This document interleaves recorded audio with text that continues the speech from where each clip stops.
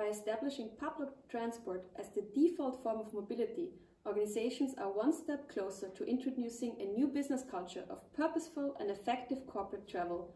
There are many alternatives from high speed trains to night trains to video conferences.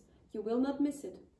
Introducing flight reduction targets in the travel policies means dismantling long held ideas about the necessity of air travel. We fly less and less, and yet we achieve more. We all benefit when we fly less by reducing our impact on the planet and building a better business community.